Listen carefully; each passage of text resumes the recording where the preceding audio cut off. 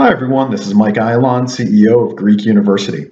Wanted to talk a little bit today about one of the presentations that I give on college campuses across the country called Hazing Prevention. How did we get here and how do we stop it? It will come as no surprise to anybody that hazing does exist on college campuses. You can see that in newspapers across the country, and it's affected not only Greek organizations, but also many athletic teams and even the band in some instances. The issue here is, is that 55% of college students have been hazed. 47% of them have actually been hazed before they ever got to college. And the problem that we're having is, is that only 9 out of 10 students actually consider themselves to be hazed. The other issue is, is that we often read about hazing instances when there's a physical injury or even death, but we don't talk enough about the mental aspects of hazing and what are those ramifications to the students over a lifetime once they've been hazed.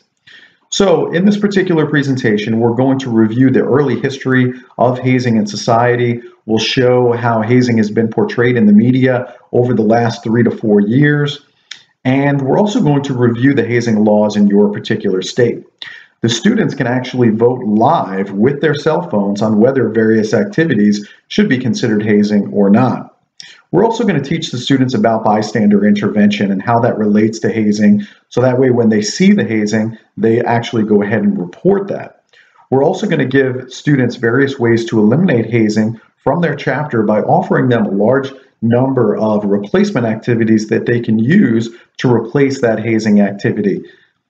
So some of the learning objectives that we're going to have with this presentation. Number one, to analyze the origins of hazing. Number two, to describe why hazing exists. Number three, we're going to illustrate the progression of hazing related media coverage from 2012 to current day. Number four, to summarize the hazing laws in your state. Number five, we're going to develop bystander intervention techniques to stop the hazing before it starts. And number six, we're going to produce those substitute activities that actually bring the desired results of brotherhood and sisterhood to your chapter and that interaction amongst your members without any hazing activities. So, I'd love to come to your campus and work with your students. Please give me a call at 516 642 3108 so that way we can talk and book a date. Or you can also go to our website to view a full list of presentations that we offer at www.greekuniversity.org. See you soon.